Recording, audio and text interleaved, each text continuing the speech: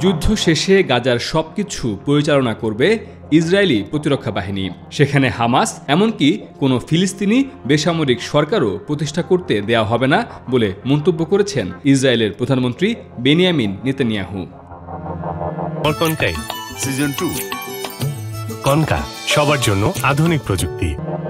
Netanyahu বলেন, আন্তর্জাতিক চাপ থাকা সত্ত্বেও গাজায় আপাতত ইসরায়েল কোনো যুদ্ধবিরতিতে রাজি হবে না। এর বদলে গাজায় সর্বশক্তি প্রয়োগ করে সামরিক অভিযান অব্যাহত রাখা হবে। ইসরায়েলের প্রধানমন্ত্রী বলেন, আমাদের সব সেনাদের নিয়ে, আমাদের সর্বশক্তি নিয়ে বিজয়ের আগ পর্যন্ত হামলা অব্যাহত থাকবে।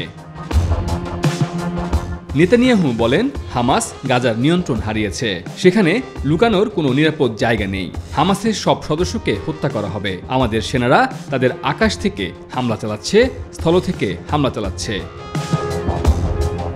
গত শনিবার নেতানিয়াহুকে প্রশ্ন করা হয়, যুদ্ধের পর ফিলিস্তিনি অথরিটি গাজায় সরকার প্রতিষ্ঠা করবে কিনা? এমন প্রশ্নের জবাবে তিনি জানান, গাজায় পূর্ণ নিরাপত্তা নিয়ন্ত্রণ থাকবে। হামাসের সদস্যদের হত্যায় প্রতিরক্ষা বাহিনী যখন প্রয়োজন গাজায় প্রবেশ করবে।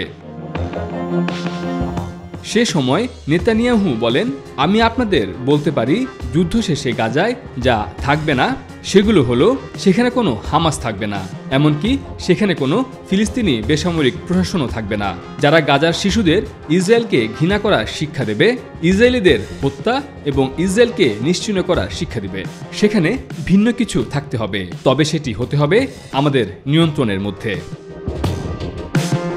Mirza Rakibul Hasan, news twenty